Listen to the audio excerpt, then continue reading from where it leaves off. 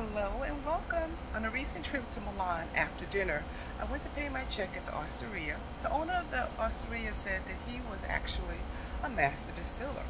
Of what? Gin. And he had a spin on limoncello. He didn't use lemons at all. What did he use? Pistachio and matcha tea. Watch the following video.